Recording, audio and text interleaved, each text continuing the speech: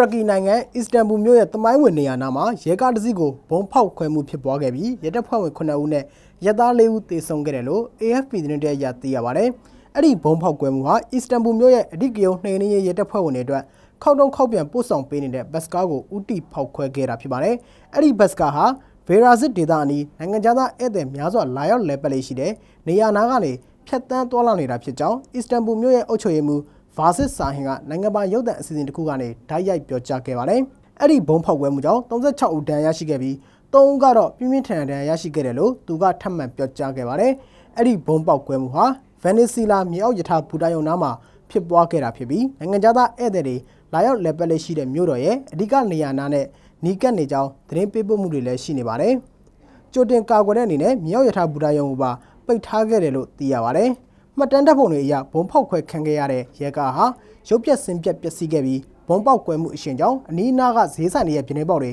ပျက်စီးခဲ့တယ်လို့လည်းသိရပါတယ်။အနီးအနားပတ်ဝန်းကျင်ကကားရနာရနေရပါပျက်စီးခဲ့တယ်လို့ AFP သတင်းတရရသိရပါတယ်။